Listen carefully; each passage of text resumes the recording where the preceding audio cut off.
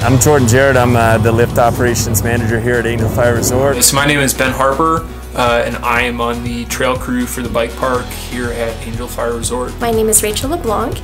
I am a marketing specialist here at Angel Fire Resort. I think what makes Angel Fire unique is the fact that we're uh, we're more tight knitted. You know, we're not commercialized. You still get to see people from all over the world, from all over the country, that are coming in to visit and see this beautiful town that we get to live in.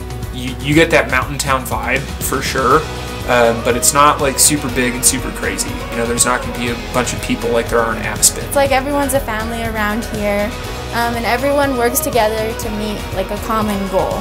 It's nice to go to the grocery store and see familiar faces and other faces that you don't know. Every every year I get to, to meet and, and grow relationships with, with new employees and and just kind of just create my small little family every season that I come back and it's it's just a, a real special place to work. Angel Fire Resort is a family resort.